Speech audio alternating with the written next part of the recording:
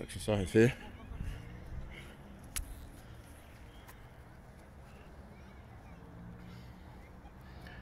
Yeah, back pedal. Finish off with a sprint. That's it. Look For these cones here.